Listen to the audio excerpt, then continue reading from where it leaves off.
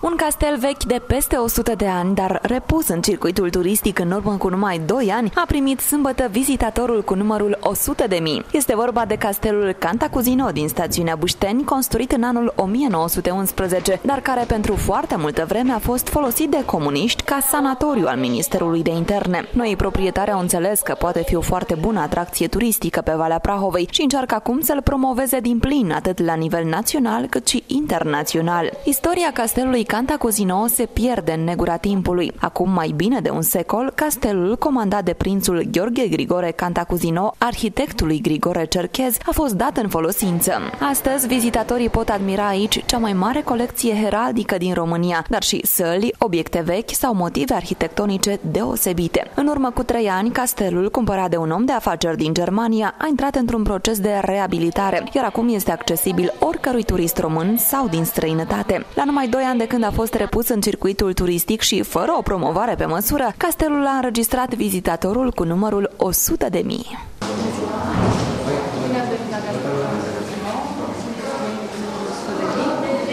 vă invităm să vizităm această frumoasă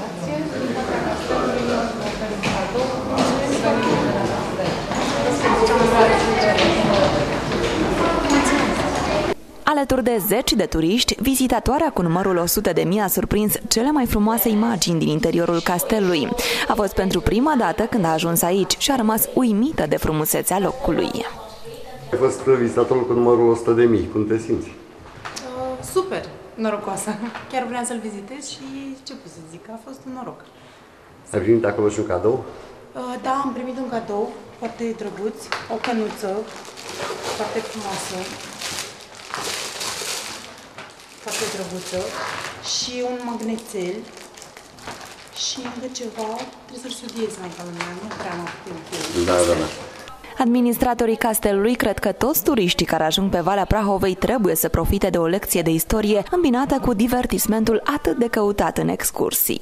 Astăzi, uh, Castelul Cantacuzino din Bușteni a ajuns la 100.000 de vizitatori. Această locație a fost deschisă în 2010 pentru vizită și uh, în acești ani am dezvoltat și alte activități în curtea castelului sau pe domeniul uh, castelului. Indiferent de vârstă, și vizitatorii care au descoperit sălile maestuoase, dar și zona deosebit de frumoasă, au fost cel puțin la fel de încântați. Cum vi s-a părut castelul? Uh, frumos, cam gol fără mobilier.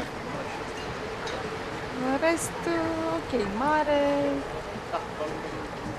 Peisajul în zona? Peisajul foarte frumos, într-adevăr. Cum a fost vizita?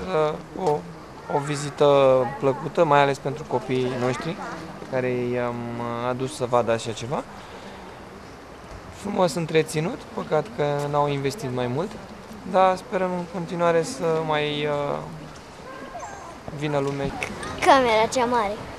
De ce? Încă e frumos decorată. Ok, curtea cum ți se pare? Tot frumoasă.